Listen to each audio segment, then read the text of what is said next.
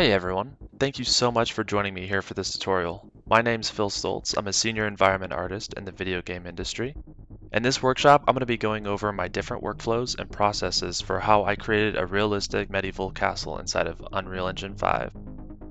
I'll be covering a wide variety of topics in the game art pipeline, such as lighting, sculpting, and world building.